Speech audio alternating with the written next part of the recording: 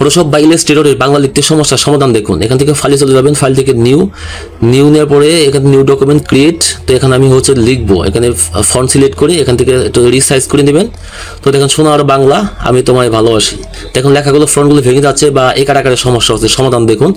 এখন হচ্ছে আমি চলে যাব এডিট অপশনে দেখুন এডিট এডিট থেকে প্রিফারেন্সেস নিচের দিকে প্রিফারেন্সেস থেকে জেনারেল জেনারেল জেনারেল থেকে দেখুন প্রিফারেন্সেস আন্ডারে ড্রপ ডাউন হিসেবে type select type type select করবেন দেন হচ্ছে যে language option show Indic option তো এখানে টিক মার্ক দিয়ে ওকে করে দেবো। টিক মার্ক দিলাম এন্ড দেন হচ্ছে যে ওকে নিচের দিকে ওকে এন্ড আমি নতুন একটা ডকুমেন্ট নেব new file new create and then হচ্ছে এটাকে আমি ফ্রন্টটা সিলেক্ট করে লিখব, সোনার বাংলা, আমি তোমায় ভালোবাসি। দেখুন ফ্রন্টগুলো ঠিক মতো আসছে। যদি কখনো এরকম না হয় ক্লোজ করে দিন নতুন করে ফটোশপটা নিয়ে দেবেন অ্যান্ড দেন লিখবেন ওকে অ্যান্ড দেন ওকে এটা হচ্ছে প্রসেস